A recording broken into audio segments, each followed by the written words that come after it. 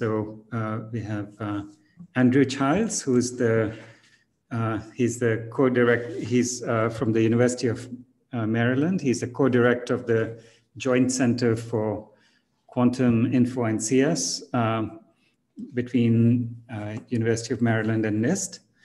So uh, Andrew is an is is an expert at quantum algorithms, and um, you know, as well as um, he's done this extensive work on the simulation of quantum systems. You know, quantum. Um, um, you know, Hamiltonian simulations. So welcome, Andrew. Uh, we have Mike Markus Greiner, who is um, who is a professor at, uh, at Harvard as well, and um, he's he's an experimentalist who who works extensively on on quantum simulation um, using uh, uh with Bose-Einstein condensates as well as ultra cold Fermi gases. Um, he is he was a, a, MacArthur Fellow, and he's uh, he's also uh, involved in this uh, um, this work on observing quantum phase transitions from superfluid to to Mott insulator in the Bose Hubbard systems. Um, then we have two uh, sort of uh, young stars in the field. There's there's Monika Aidelsburger from the University of Munich. Uh, welcome and. Um, so she um, she works on again on quantum simulation with ultra cold atom gases and optical lattices. Um, Monika, you know, is uh, the winner of many various prizes, the Al Alfred Krupp Prize and the Klung uh, Wilhelm Science Award. So, uh, and then uh, Norman Yao, great to have you here. Norm is my colleague here at Berkeley in physics. Um, He's, uh, he's a protege of uh, Misha Lukin, and like uh, Misha, he's make, making his transition from being a pure theorist to being both a theorist and an experimentalist.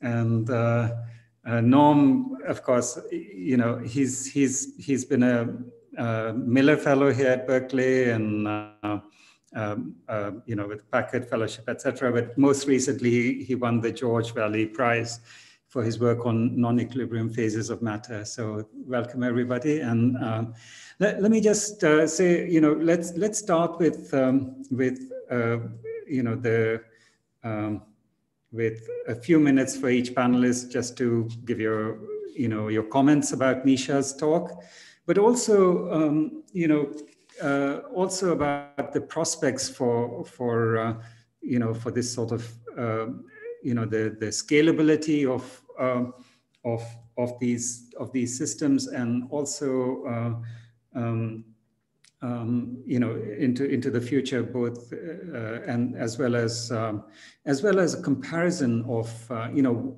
of of some of these um, of of the kind of um, platform that Misha spoke about you know what are its advantages and you know where do you how do you compare it to other platforms so um, if we can, uh, um, and and of course, um, uh, and of course, also as a you know comments on the on the actual algorithmic aspects of the of what uh, Misha spoke about. So possibly, uh, um, who would like to go first? Maybe Andrew. Would you like to speak about the algorithmic aspects? Sure. Yeah. Yeah, no problem. Yeah, I mean, I thought it was a beautiful talk and uh, you know a really impressive system, and I think it was you know really really uh, you know interesting to hear about about um, the things that have been going on. Uh, you know, Misha, in your lab. Um, yeah, I mean, I, I thought it would be interesting, you know, maybe to talk a little bit about sort of um, the, the interaction between sort of what's being done in these systems and sort of computational ideas. Um, uh, you know, I guess sometimes maybe the the line between sort of an analog an analog quantum simulation uh, and a physics experiment is a little bit blurry. Um, you know, I guess we we heard uh, sometimes about sort of you know realizing certain phases in the quantum simulator, but of course, you know, realizing a quantum phase, I guess, is something we don't we don't expect a classical computer to do, but maybe it could answer you know computational questions about um, quantum phases, depending upon what the question is that we want to look at. So, um, yeah, I mean, I think it would be interesting to maybe talk a little bit in the panel, and I'd definitely like to hear you know what what Misha and everyone has to say about this. Um, uh, sort of making links between what's going on in, in these kinds of um, quantum simulation experiments and you know CS theory. Um, so, you know, what are the sort of computational questions that we can try to um, address with simulators? um, you know, certainly the dynamics of the kinds of systems that you're realizing are, are classically hard in some sense, but um, you know, what are the kinds of questions we would like to answer? I guess we can ask questions about like, um, you know, measuring correlation functions in the ground states of these systems, or uh, you know, maybe trying to identify like where is the value of some parameter in the Hamiltonian at which a phase transition occurs.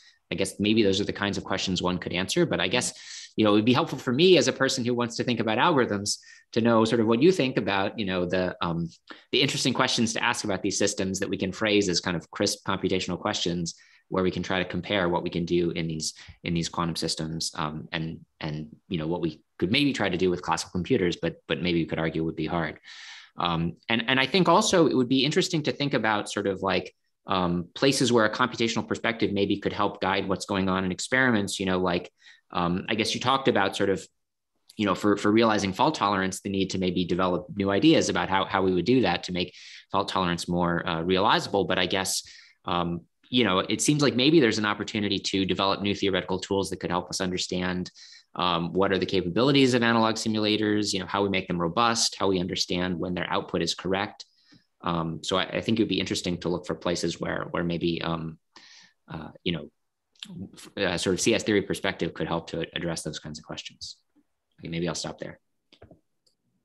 That's great. Yeah. Thanks, uh, Andrew. So um, I don't know how you'd like to do this. Misha, would you like to speak to these or should we just go through all the panelists and then, then come back to you? I think we should just go around the spot. Okay, okay, great. So uh, who, who, would like to, to, to go next? Uh, um, I'm happy to, I can go. Yeah, okay, great. Um, yeah, so maybe I'll try to mention kind of four questions that I think might be sort of fun for the panel to sort of discuss together with Misha. Um, and I think, I mean, again, I mean, the talk was, I think Umesh put it very well. I think one is irrationally excited about so many aspects of the talk. I mean, it's just really exciting progress on so many fronts. But maybe just a couple that um, Misha emphasized, and I want to sort of mention as directions that one can think about.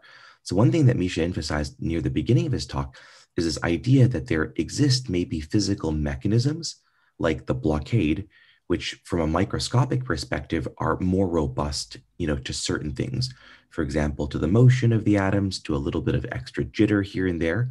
And one can ask an interesting question, in my opinion, which is, do there exist, you know, a class of, you know, interactions that happen in nature, like the blockade, where one can naturally get robustness to certain types of error, noise, fluctuations that exist within experimental platforms?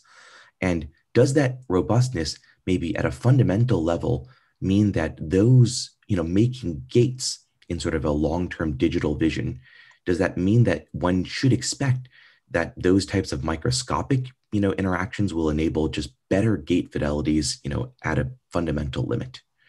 And there, I think it'd be really interesting to hear Monika and Markus's perspective eventually on the balance between you know things like blockade based gates versus other neutral atom based ideas for implementing gates in for example optical lattices. Is there some complementarity? Are there some intrinsic advantages that one sees in one versus the other?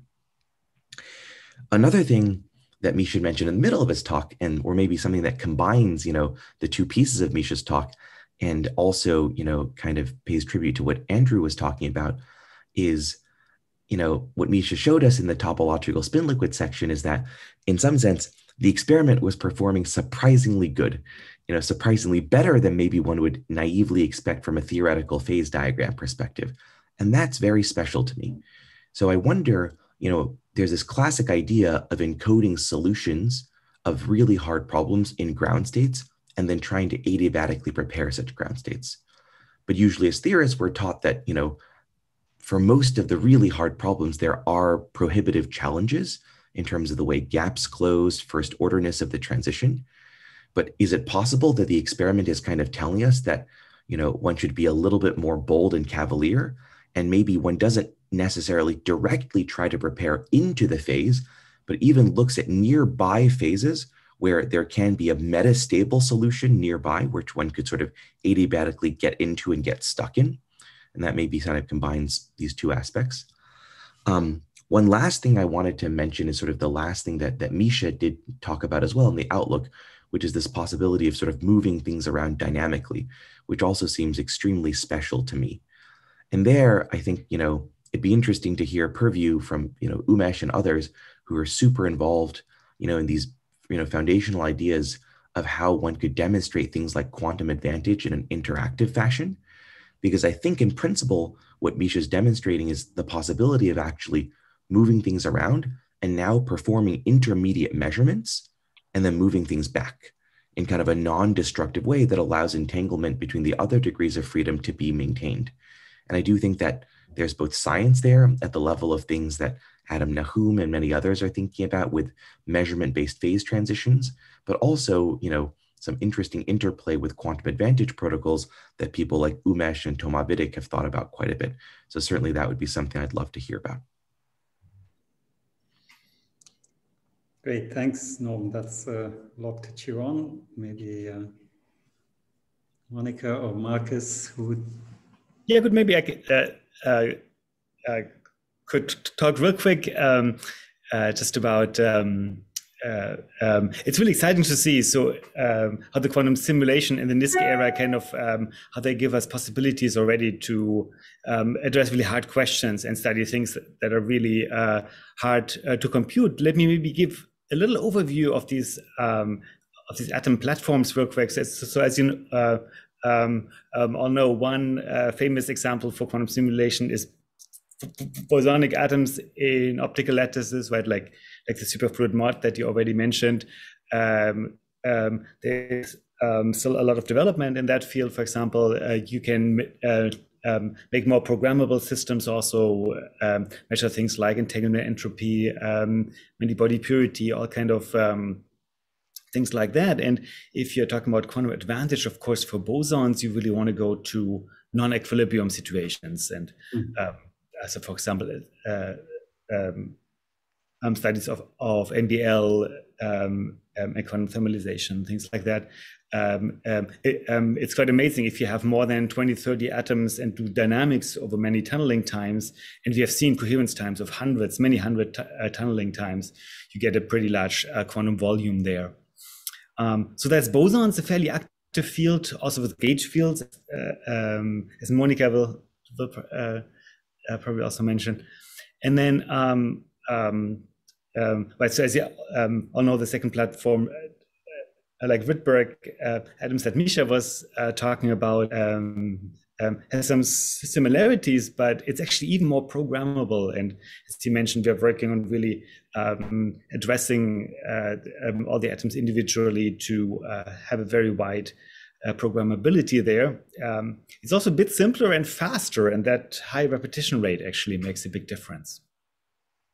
Um, but I do want to mention um, one other platform real quick, which is quite special. And I think there are many open, interesting questions. And um, it's not really quite understood yet how to really think about these systems from a quantum information point of view.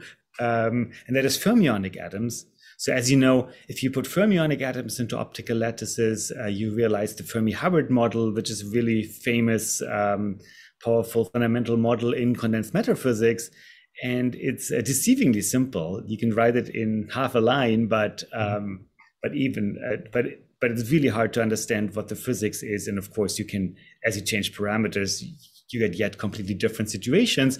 And uh, um, it's fascinating to me how difficult, uh, like how can it be that such a simple model has so much richness uh, and is so hard uh, to compute. And so this is one very active. Um, uh, field in many groups. Um, for example, we've seen antiferromagnetic uh, uh phases uh, and uh, studied the doped Hubbard model, where we observed like string patterns, for example, or polarons directly, so that you can really see this intricate interplay between charge and spin degrees of freedoms. Um, a lot of these experiments, you know, uh, you may be able to argue maybe this is already in some kind of quantum advantage regime. Uh, certainly, it's not possible to to compute these uh, uh, uh things. Uh, but to me, it's more important. You know, is it really useful? Um, and there, I'm. I'm really um, excited of the prospects. Um, for example, we are in the middle of a major upgrade to to lower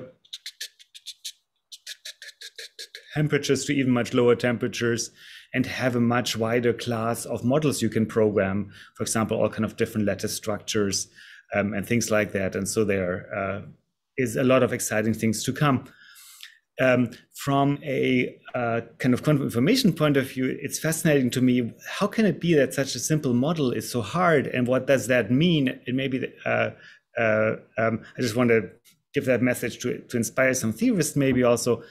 Um, um, like how do you understand these these these fermionic models from a quantum information uh, um, and theory point of view? Of course, as you know, um, a quantum system system of fermion maps onto a bosonic or spin model via the Wigner transform. But the amazing thing is that um, uh, you can have a totally local fermionic model that maps onto a highly non-local uh, spin or Bose problems. Uh, scalable quantum machines, of course, are local. So if I implement the fermionic degree of freedom um, um, natively on such a machine, then this local model uh, studies models that would map on highly non-local uh, spin or or Bose uh, problems. And so, to me, um, that seems an interesting question. If if uh, if there's maybe some important power that lies in that kind of um, um, in that mapping. Mm-hmm. Yeah, and just uh, to wrap uh, this up. So it, um, it's kind of funny. Sometimes it's a bit, um, you know, a bit overwhelming uh, what the challenges are. Uh, it feels a bit hyped sometimes, or you know, is it um, will it be hard to control an exponentially large Hilbert space um, and so on? But then um, on those days, if I then go into the lab and I see that you know we can really use a handful of atoms, and these atoms following very simple rules are doing things that no supercomputer can compute um, that is certainly very motivating. And so uh, this is a really exciting time for quantum simulation to really um, ex um, explore these kind of questions. Great. Uh, thanks, thanks, Markus. Uh, Monika, you've been waiting patiently, so uh, love to hear what you have. No problem. Uh, thanks for for having me in in this distinguished panel. so um, yeah, I just add a little bit. So many many things have already been said, so I will just add a few more ideas um, without actually taking too much time. And um, I want to pick up a few ideas that have been already mentioned, in particular, that analog uh, simulations have already been very successful. And it is very interesting, of course, to think of uh, possible ways to answer interesting questions in order to use this um, to demonstrate some quantum advantage. And it seems to me that indeed this non-equilibrium phenomena or quench dynamics can be one way. And I think what I have in mind there is that this interplay of trying to understand our quantum many body systems better and better, like now, um, as was mentioned also in the talk, that we can reach 200, 300, 400 atoms. Um, we can also try to de devise new, more efficient algorithms, which maybe we can use to describe the dynamics, which previously were hard to develop just because we don't have a very good handle on estimating the error of certain approximations that we make. So there can be, I think, an interesting interplay between uh, the experiments, the analog simulations, and the theory on the other hand, in order to learn more from a quantum information point of view about what degrees of freedom of the quantum many-body system are relevant for this for the dynamics that we are seeing. And I think um, maybe this also ties in a little bit with the um, idea of using fermions. So maybe um, as part of this, um, one could think of developing hybrid approaches where if we um, are able to control fermions very well, let's say in the lattice, that we can um, run parts of the algorithm on a quantum machine where we, I don't know, eliminate the sign problem, let's say, because we can use the fermions and, and the lattice very efficiently and combine it with some classical algorithm in order to solve um, problems more efficiently. And um, this also um, comes uh, to one of the questions I would like to pose to everybody. Um, so I think the idea of using fermions is very appealing in, in our uh, type of platforms. And um, it is an interesting question, question um, to answer if fermions can be a way to reach quantum advantage for certain models faster. If we think of simulating lattice gauge theories uh, where gauge fields are coupled to fermionic matter, of course, there are certain mappings on to other models, simpler models. We can integrate out fermionic degrees of freedom in order to describe these models. But eventually, I, I would like to understand if, if, if maybe fermions are more efficient in solving some of these some of these questions. And then going a little bit away from the analog simulation towards the digital approach, um, I also would like to pick up the idea of developing um, the platform, so trying to understand um, what are the, the current limitations, can maybe um, dynamically reconfigurable atoms in a, in a normal optical lattice using collisional gates uh, in, in, in, contrast to Rydberg excitations, let's say, um, be, be better? Like, can we reach higher fidelities um, if we use that? Should we maybe think of different types of gates? Should we uh, rather make use of multi-qubit gates in order to develop maybe more resource efficient algorithms and protocols uh, where we can work with fewer atoms and then maybe we don't need as high fidelities.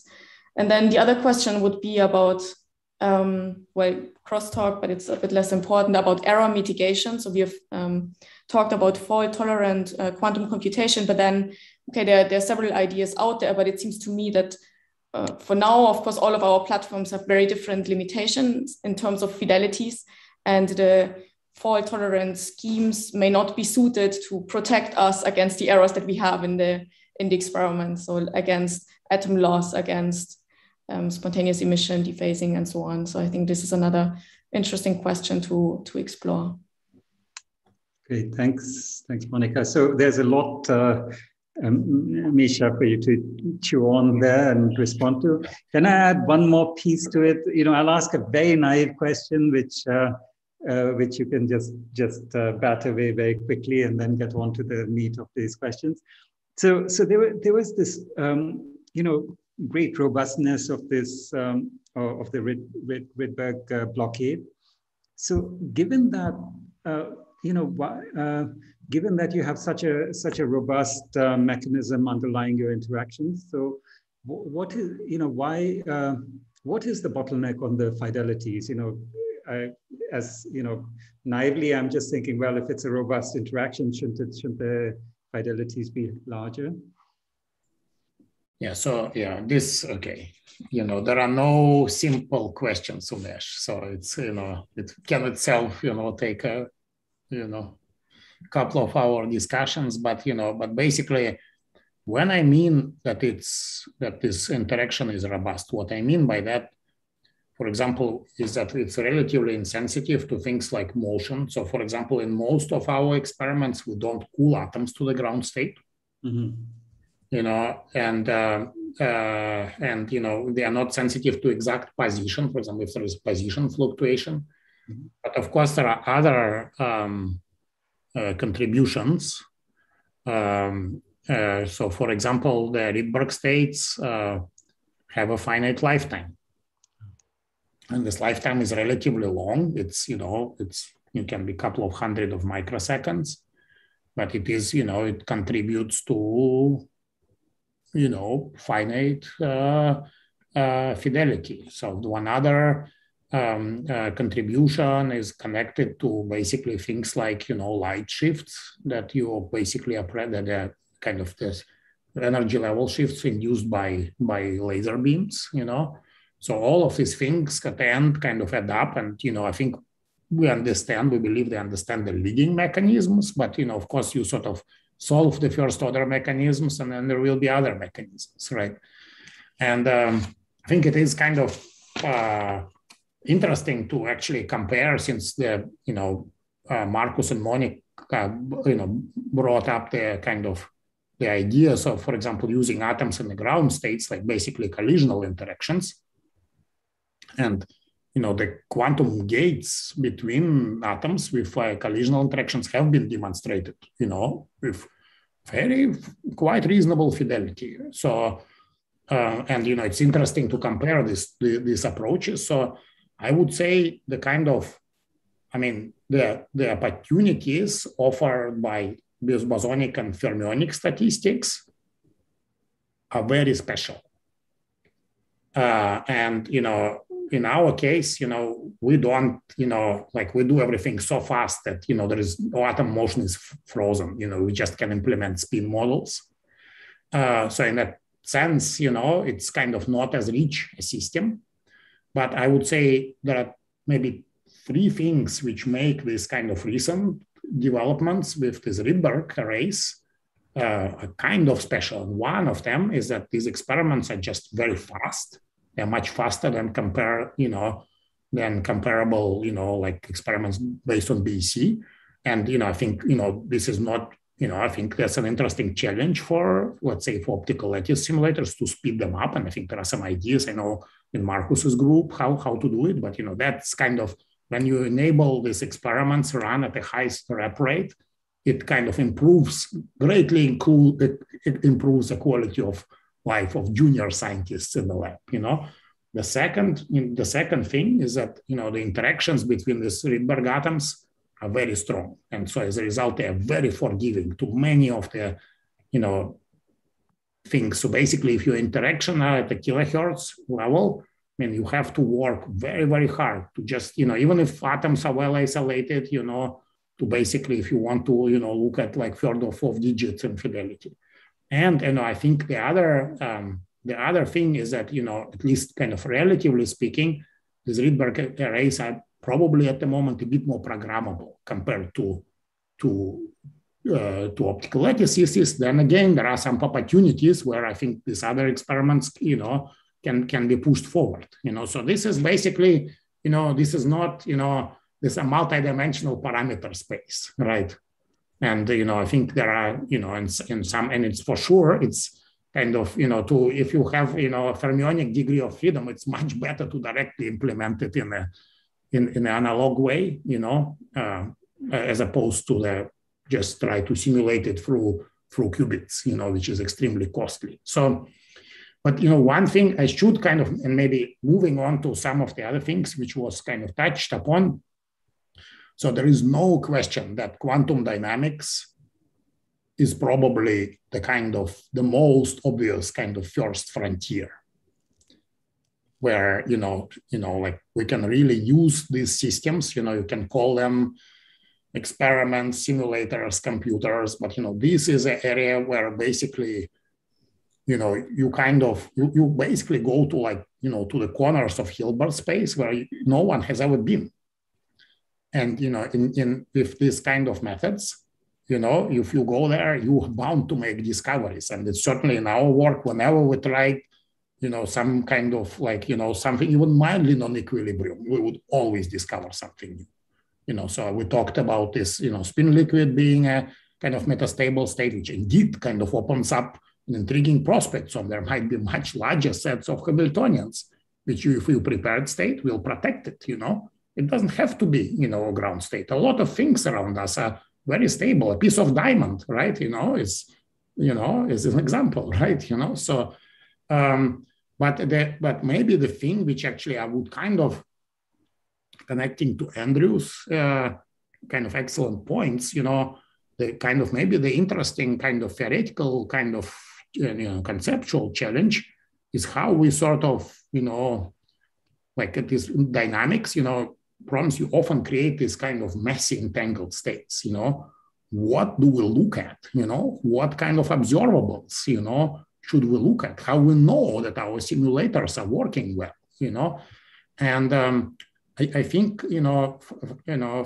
for example, the, the opportunity I think the quite special opportunity is also along the line that Monika mentioned, you know, this kind of opportunity where you will combine, for example, analog simulators with some digital circuits, you know, where you can, for example, look at things like, an, you know, entanglement entropy, kind of similar to Markus's experiments a few years ago, but also look at things like entanglement spectrum. I think they are all now within the reach and it's topological observables where you can maybe use some ancillas to sort of probe some non-local, you know, degrees of freedom, you know, all of these things, you know, all of these are, you know, kind of opportunities, right?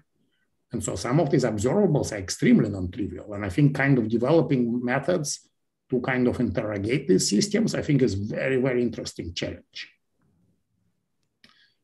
So uh, on a kind of on a on the other side, you know, like kind of connecting to try to connect it, these things to computer science, I, I, I think one could also think about new ways to implement um, quantum algorithms. And you know, the, the brief discussion that I had about this, you know, basically about solving this maximum independent set, you know, was an example of that. You know, uh, so and you know, you could say, well, okay, so you sort of worked very hard and we just showed quadratic speed up, but okay, I mean, this is sort of that's a point where we try to at least chip away at kind of of this, you know, basically, you know, can we find how can we find, you know, next Shor's algorithm, right? You know, uh, there are some instances which will be amenable to the speed up, which are, you know, which is substantial, you know, and I think that's where, you know, basic and like in, at least in the near term, we have to use some kind of co-design. We have to use this efficient qubit encoding. Otherwise, we just don't have a, a chance to really explore this, you know, you know, these algorithms and the kind of, you know, they all the, the, the kind of meaningful explorations would require, you know, hundreds of qubits and large circuit depth. So I think we have to be kind of, you know, very creative in terms of how we map, you know, the kind of interesting computational, classical computational problems to quantum algorithms and then to this kind of hardware platforms. But I think there is a very, very special opportunity uh, uh, to kind of uh, to explore this, this, this kind of things. So, so, uh, so yeah, so I guess I mentioned, you know, uh, yeah, kind of, yeah, a few things. I mean, in connection to Norm's um, uh, points, yeah, I, I, yeah, I do think that you know, thinking about mechanisms such as blockade, you know, which could enable robust inter. I think this is would be very, very interesting and useful, and also, you know, kind of extending them to things like multi-qubit gates. They can, you know, provide very, very powerful, right? Of course, you need a certain degree of non-locality then, but you know, I think we have it, you know, in some of the systems.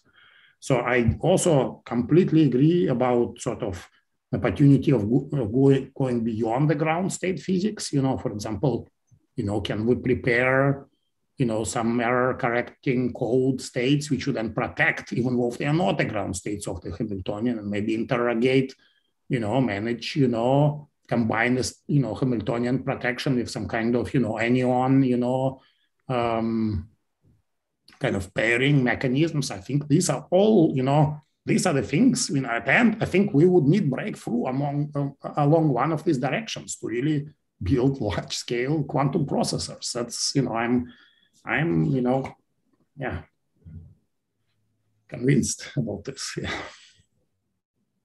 But I think also every challenge is an opportunity. I think this is a very, very special time where we can really explore these things. That's what's very, very special. Great, thanks, um, thanks, Misha. So I think we are we are getting close to the end of our time. So maybe uh, if there are any other comments on the panel. If, uh... Maybe I can just ask a question that kind of I suspect Markus, Monika, Misha, and I both have or all have for Umesh and Andrew. Um, so you know, there's been this discussion I think come up throughout the panel about the possibility of you know thinking about dynamics and then after you do some dynamics, measuring some correlation functions, and the possibility that you know that is really hard.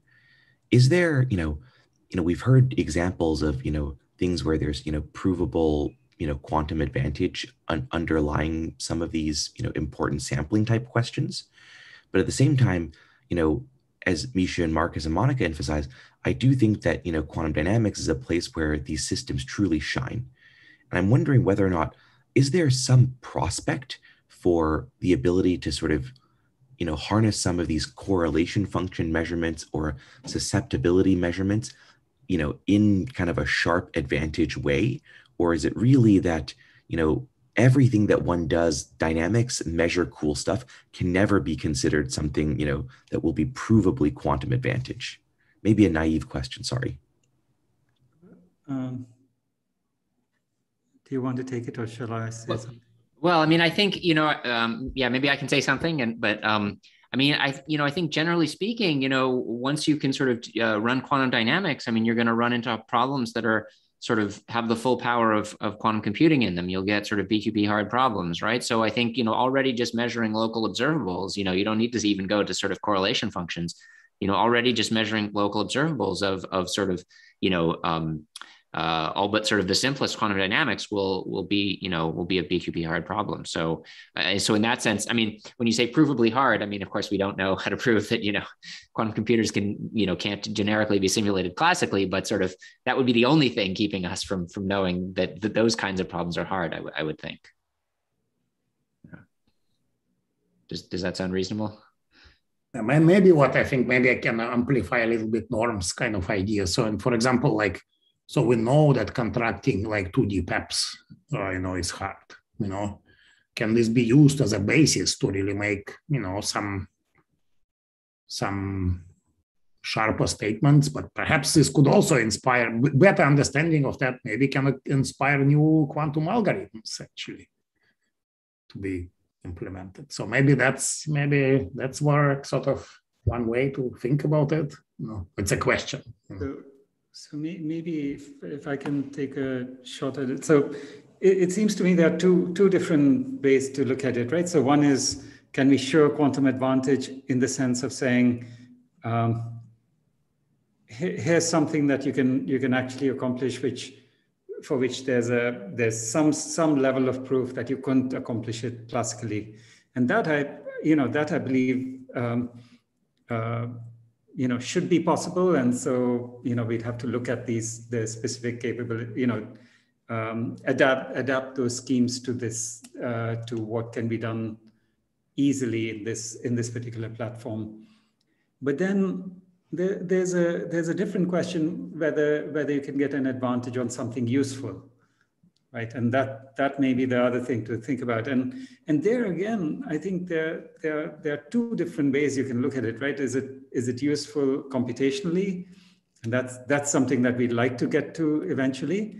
But in the in the meantime, you know, I mean, I, I think that there's another question you could ask in terms of the dynamics, which is what would it mean to to be able to simulate the dynamics which is useful not not necessarily from a computational viewpoint per se as a as a as a well-defined computational problem, but from you know but from a science viewpoint, which is which is what I think Misha was was was uh, was getting at, right? So so um, I mean I you know it it seems to me there was there were there was some idea that yes there's a you know there's there's um, there's uh, there's an advantage to be had in terms of something useful in the sense of scientific discovery. And is is there a way to spell, sort of spell that out even more and say, okay, here, here's what you can get at with dynamics that you couldn't get at with stable states, and you know, so basically to quantify the scientific discovery. Yeah. Yeah, well, or, or, or just intuitively, you know, so, sort of say, well, you know, one's, one's digging in this direction because one expects to find these kinds of things. You know, that that's the.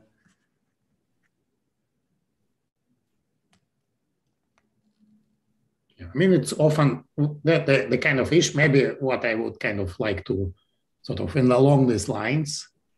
Um, one challenge, or maybe it's not, it's both challenges and an opportunity, is such that, you know, once you in this kind of dynamics problems, often once you sort of know what to expect, mm-hmm. can often be very, you know, creative and clever to come up with the good way to describe it, you know. If you don't know what to expect, I mean, you're basically lost in this huge Hilbert space, right?